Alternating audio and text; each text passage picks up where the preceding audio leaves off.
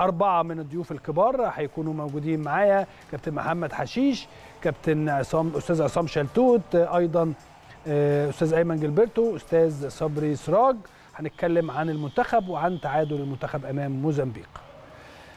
بيني وبينكم هو تعادل مخيب للأمال زي ما قلت لحضراتكم امبارح. ولكن خلوني أؤكد على شيء وشيء مهم جدا إن هو ده وقت الدعم. تختلف أو تتفق مع فيتوريا المدير الفني لمنتخبنا الوطني ولكن تبقى مصلحة مصر آه، مصلحة المنتخب هي الأساس. أنا عارف إن ناس كتيرة زعلانة من أداء اللاعبين ومن كل أو معظم اللاعبين يعني باستثناء الشناوي ومصطفى محمد كل الناس زعلانة من كل اللاعبين اللي باقيين. ومن حق الناس تنتقد وتتكلم عن السلبيات. وإحنا هنا امبارح في هذا البرنامج اتكلمنا عن السلبيات سواء مع كابتن مختار مع كابتن رضا مع أحمد ثابت مع كريم سعيد. كلنا اتكلمنا عن السلبيات. أنا كمان اتكلمت عن السلبيات الخاصة بمباراة امبارح ولكن لازم نقفل هذا الملف. لازم كلنا ندعم المنتخب ونبدأ مرحلة التركيز للي جاي. انتقد وقول إن أنت عندك مشاكل أو منتخبنا عنده مشاكل في الناحية الفلانية أو كذا أو من النواحي الفنية زي ما أنت عايز ولكن بلاش انتقادات لاذعة لأنه مش وقتها دلوقتي. المشوار لسه طويل. عندنا مباراة يوم الخميس القادم. فرصة التأهل ما تزال قائمة. يمكن فوز ال- الراس الأخضر امبارح على غانا بهدفين مقابل هدف قلب الأمور. بيني وبين حضراتكم آه قلب الأمور راسا على عقب المنتخب بالراس الأخضر. كاب فيردي اعتلى صدارة هذه المجموعة مجموعة فيها مصر ومنتخب مصر ومنتخب غانا ومنتخب موزمبيق. تخيل مصر وغانا والراس الأخضر تبقى أول المجموعة بعد المباراة الأولى. بعد المباراة الأولى. عندنا مباراة يوم الخميس آه، في غاية القوة والصعوبة.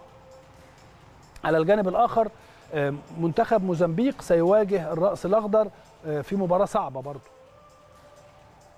كلنا متوقعين إن الجهاز الفني للمنتخب هيعمل بعض التعديلات. إذا كنت بتتكلم عن تعديلات فخليني أتكلم معاكم بشكل مباشر.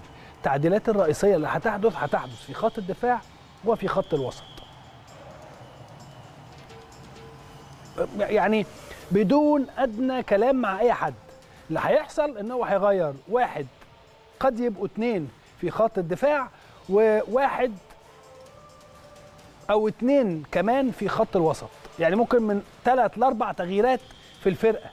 وده ما فيهوش أي مشكلة لأنه هو نفسه قال هذا الكلام. فيتوريا لما جه يتكلم قال لك أنا بعد كده ابتداء من المباراة القادمة اللاعب الأجهز بدنيا هو اللي هلاعبه. طب أنت ما كنتش بتلاعب اللاعب الأجهز بدنيا ليه؟ في المباراة الأولى. أنا بصراحة برضو تابعت خلال الساعات اللي فاتت انتقادات لاذعة للاعبين وانتقادات قوية جدا لمحمد صلاح واتهامات غريبة جدا بالتخاذل لهذا النجم الكبير اللي هو أصلا بالمناسبة محمد صلاح عشان بلده وعشان نفسه. نفسه يتوج أكتر واحد نفسه يتوج بهذا اللقب ويعمل تاريخ وإنجاز كبير جدا جدا محدش هيوصل له. يضاف لتاريخ محمد صلاح. يبقى إزاي صلاح هيتخاذل يا جماعة؟ الكلام ده ما يصحش. الكلام ده أنا بشوفه كلام إذا كنت عايز تسخن محمد صلاح فده من حقك. عايز تسخن بقية اللاعبين من حقك ولكن إن هي تصل لمرحلة إن أنت تقول إن أو بعض بعض من جمهور يقول إن هناك تخاذل من لعيبة المنتخب هيتخاذلوا ليه يا جماعة؟ كل الجماهير المصرية بمختلف انتماءاتها تقف خلف منتخبنا الوطني.